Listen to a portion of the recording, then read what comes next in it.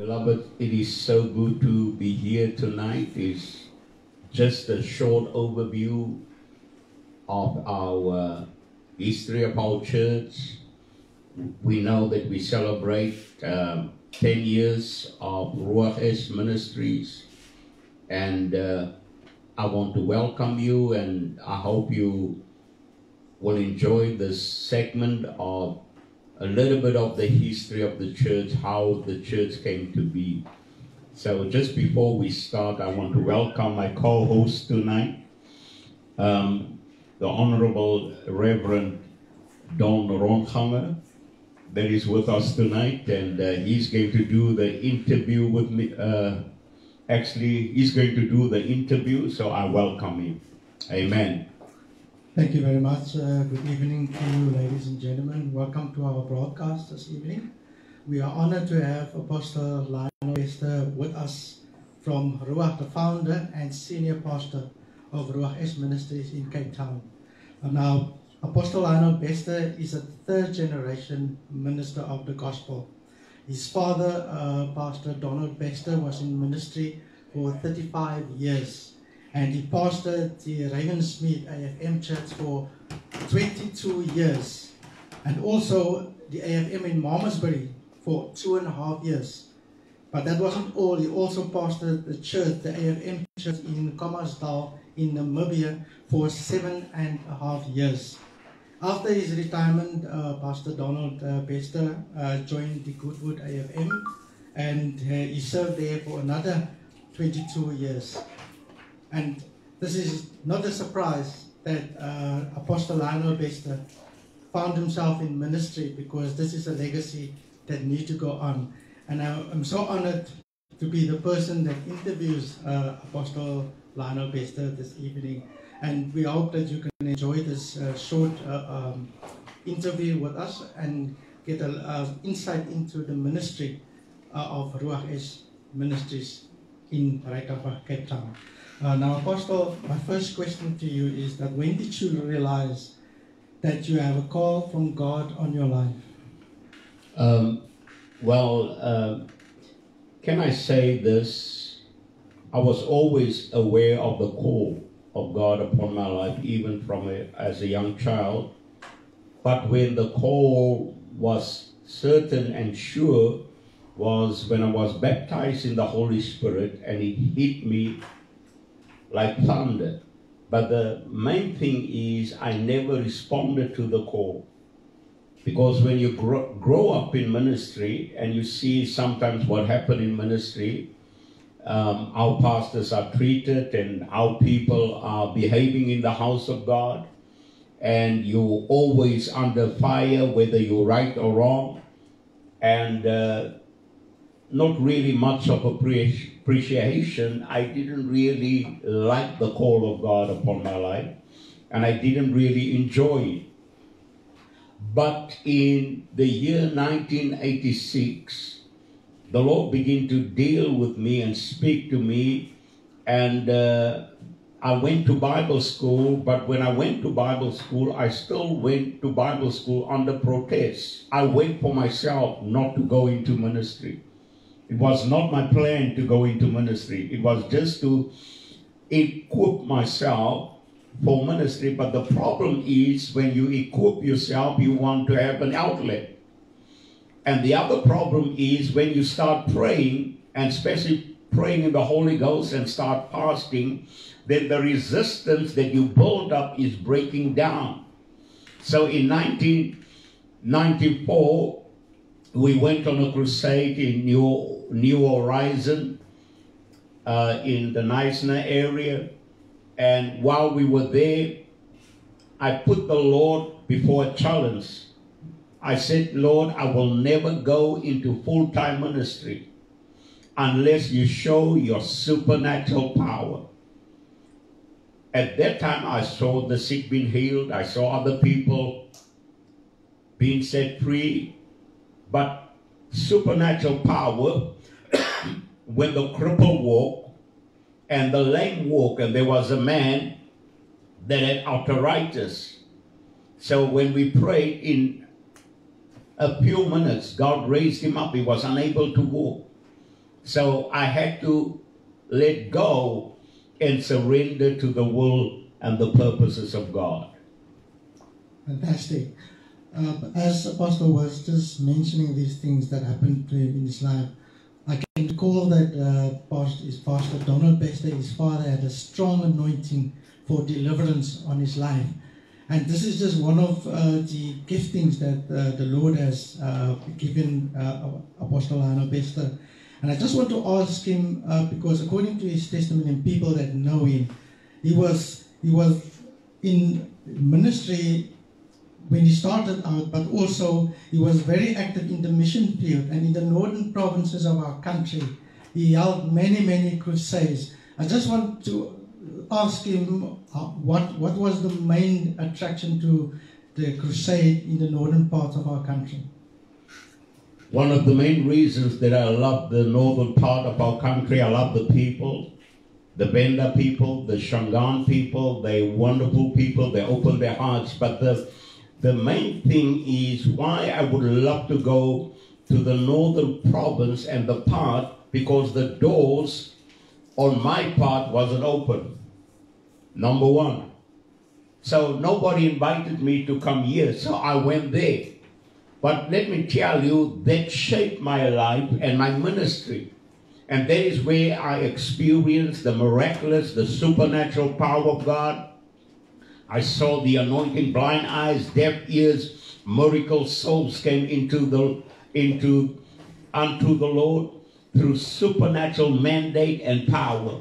We saw territories being taken by the supernatural power of God. That's why I'm I love those areas because it was not just about preaching.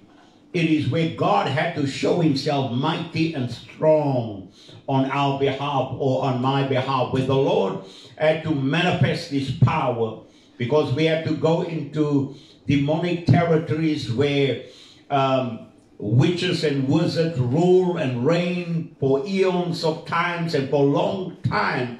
So you cannot go into those territories unless you've been soaked in prayer and heard the voice of the Father. Thank you, Apostle. What is so significant about uh, the ministry of the Apostle is, is the anointing upon his life to, for deliverance and healing.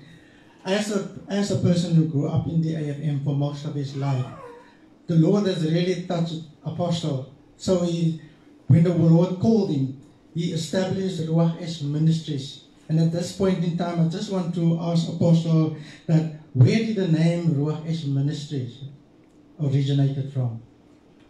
The name Ruach Eish Ministries, Ruach means the breath of God. And because I'm a firm believer in the power of God, without this move of the Holy Spirit, there is no power. Amen. So when the Lord implanted that word into my life, and we added something, and fire. Now fire means E-I-S-H. It is in the Hebrew form, it means fire. So where there's a move of the Holy Spirit, the fire of the Holy Spirit is always evident. It is always present. And I love the presence of the Lord. Without the presence of the Lord, there's no power, there's no anointing, and it's fruitless and useless to minister. Amen.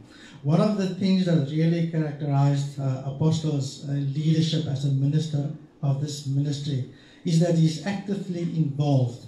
The church didn't start out with a great number of people, but it started off with a small number of people, and today we can account for 100 members in our congregation. And when the ministry started out, Apostle even was part of the worship team, and he also set up the sound system himself. And I just want uh, uh, Apostle to explain to our viewers how important it is to, to lead from the front and not just expect uh, people to, to do the work for you. But the great example he set for himself and the discipline, and that has translated onto the members of the church.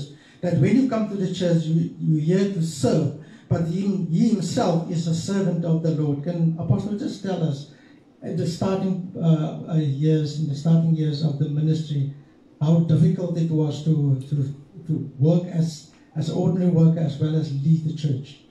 Well, um, beloved, it's not easy, especially when you have to be most pastors and preachers. They have the privilege of, uh, through the years, of having um, sound already been set up to them. And, and when we started off, I'm not a singer, but I had to play the guitar. I'm not a guitarist, but I know how to play. And uh, I love, not singing, I love worship. Amen. And I love singing in the Holy Ghost because I experience a supernatural dimension of power that's been activated and released. So part of our ministry is active in worship. We love prayer as well. Prayer is a foundation. And the power and the move of the Spirit is part and the life of the house of God and of this church. Amen. One of the things that is very evident in Ruach Eish Ministries um, is the fact that uh, signs, wonders, and miracles is part of our worship. We have a powerful worship team that usher the people of God into uh, into the anointing almost every weekend. And Apostle himself, he is very fond of worship. He will spoke, he will speak about worship uh, at in our nine o'clock slot. So please don't uh, don't go away from from our broadcast. But the testimony that the pastor has, has just given us, I would like to ask him about some of the highlights in the ministry of Ruach Eish so far. You could, if you could just share uh, with us some of the things that he has experienced as a minister, as an anointed person of God, a person of God called to do signs, wonders, and miracles. Um, just before I answer that question, I just want to tell you how this ministry came into being because what happened was that I love traveling. I would go on the road for eight, nine months and minister for three months almost every day with a one week break and sometimes three times a day.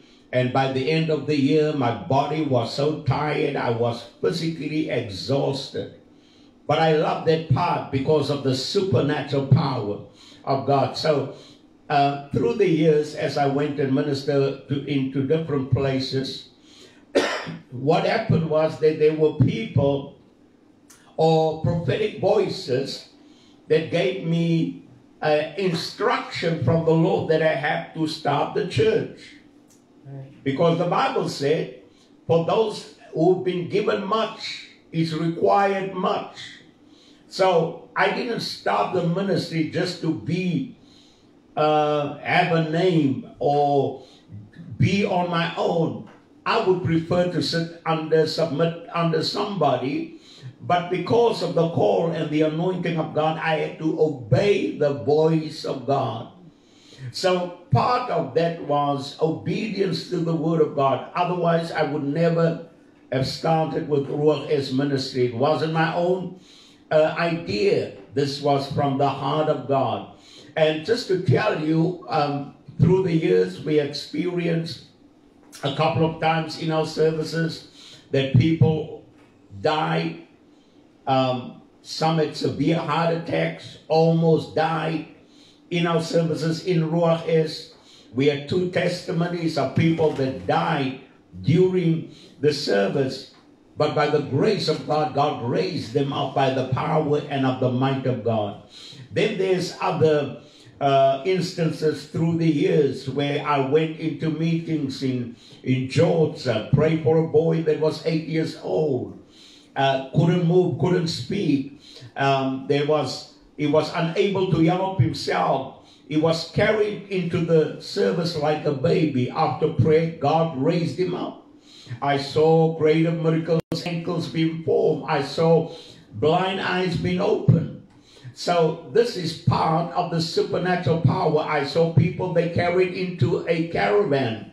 Um, laid hands on him. The power of God came upon him. HIV AIDS. Couldn't walk. Couldn't speak. God raised him up by supernatural power. So I'm so grateful for the hand of God but I'm excited that I will see more of the things of God. And the last testimony that I want to bring is at one time in Thohoyandou at the church of uh, Pastor Jacob Netsiuzi. And as I ministered, one night there was six blind eyes in one service. And the Lord ministered to me and said, don't minister to this one first because it's going to be tough. So I went to the others and all the blind eyes opened and I went to this last one that I didn't minister first. And it took a while, but the Lord opened his eyes. So I'm grateful that God is still healing the sick, raising the dead, but also saving souls because the purpose of signs, wonders, and miracles is the pulling and the drawing card for souls to be saved. When miracles are happen, it is easy for people to submit to the Lord of Lords and to the King of Kings. Amen. Uh, thank you, Apostle. Uh, in the course of this year, we had an outreach in uh, Belvini, Elsies River. There was a lady in, our, in, in the church service that evening that a sister had stage 4 cancer and she was in hospital. Like she couldn't talk for almost a week. And then Apostle prayed, uh, the, the woman actually stood proxy for that lady. And after the Apostle prayed, he said to her, after an half an hour, you can call the hospital. And believe me, after half an hour, the lady called her sister, and the sister herself came to the phone to speak to her sister. That is what God can do. Also in Bridgetown last year, the, the incident that the apostle spoke about just now, a lady died inside in the church while uh, we were worshiping. An apostle prayed and that woman came to life. It happened in May 2019. And Apostle, just on, on that note, how important it is for the church of today to actually portray uh, the glory and the power of God because a lot of churches don't experience uh, these uh, miracle signs and wonders. Can you just tell our viewers why is it important that God manifest himself in our time this day? Um, it is very important in this day because of the backsliding of the church and also of the fact that people mock the church. They do not regard the church as something that is valuable for society today. But there's one thing that I know if you we want to change cities in South Africa, Man. then it basically means the power of God must manifest. Miracles, signs, and wonders must happen. It is a drawing card, it's a calling card. It tells people that Jesus is still Lord. Amen. Jesus still is yesterday, today, forever be the same. That's why it is utmost important.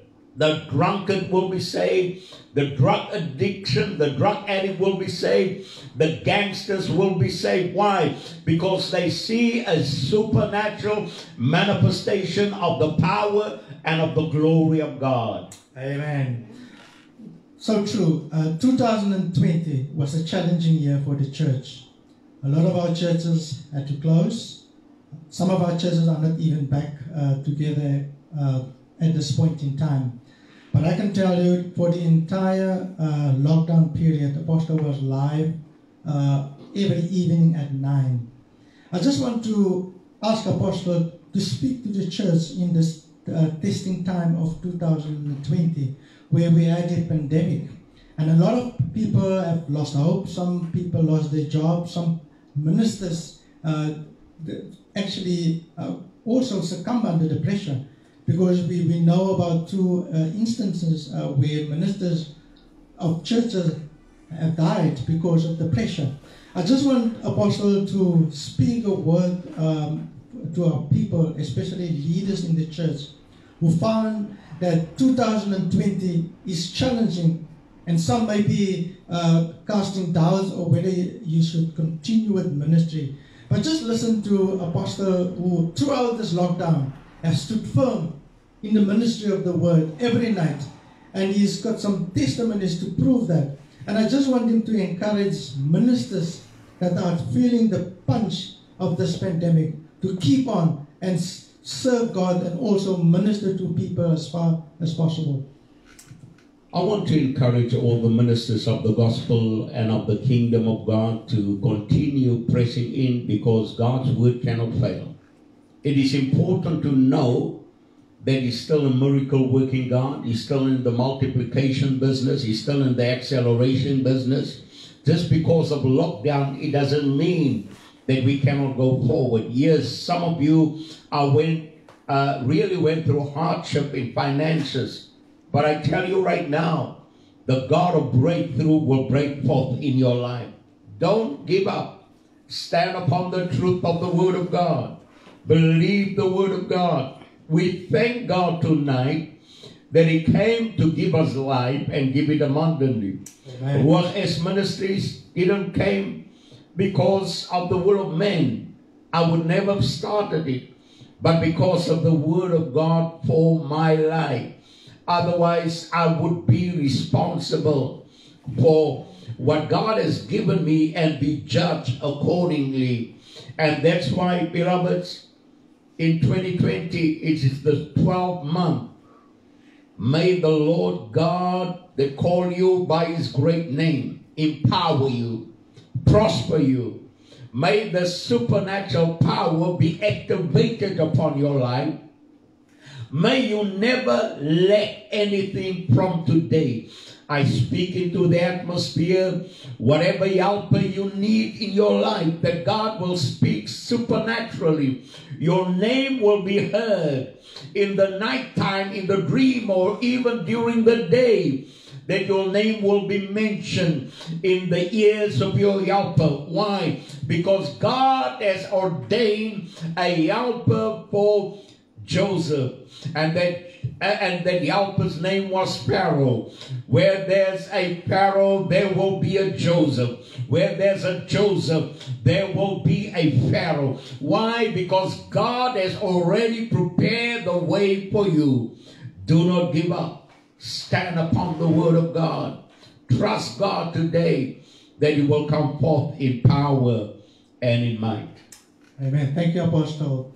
For those viewers that doesn't that don't know that the Ruach Eish ministry is, a, is an apostolic and a prophetic house, and we believe that those unctions of the Holy Spirit is, is prevalent in our church. And finally, I just want to conclude by asking Apostle that what is the Lord telling him now, and what is the vision for for Ruach Eish ministries for 2021. Um, our vision for 2020 was actually short circuited. What we wanted to do was in, we started in Belvini, then in Belhar, then the lockdown came. We wanted to go into every area of the Western Cape. And uh, my heart is that we will, in 2021, go into every area of the Western Cape at least once a month with supernatural power, with supernatural dimension, believing God that souls will be saved, the power of darkness will be broken and destroyed over those who are captive, and God will show himself mighty and strong on our behalf. I believe God for that. And next year, I believe God in roundabout September, uh, October, or and somewhere around there, I believe God to have a citywide crusade and trusting God for supernatural things to happen. And that South Africa or the Western Cape will be shaken by the power and of the might of God. And I won't go into the next phase because our time is running out. Thank you very much, Apostle. So we really thank you. We appreciate your presence. To our viewers, I just want to tell thank you for listening in. Uh, we will uh, go on live stream at 9 o'clock uh, tonight. And also, every Sunday at 9, you can live stream through Ruach our Facebook page. But we have great plans for next year. We also, our worship team will also be launching their, their first CD, and I can promise you it's going to be a CD that really will shake Cape Town and the rest of the world. But for now, thank you very much. God bless you.